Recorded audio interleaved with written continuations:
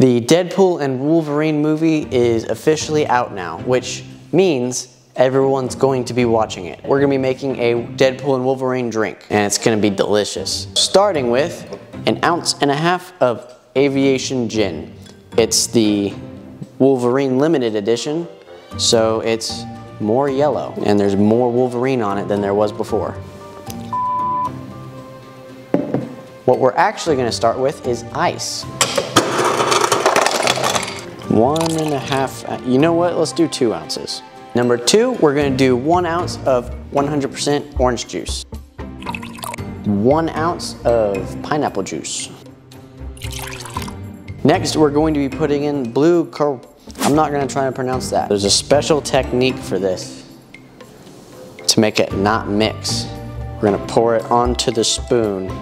What the fuck? I have this fork that is three pronged.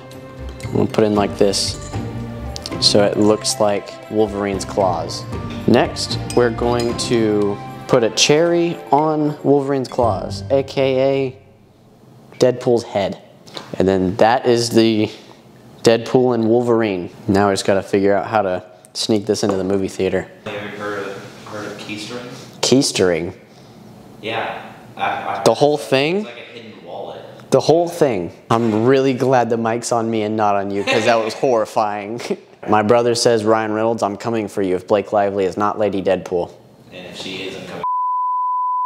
I'm not repeating what he just said.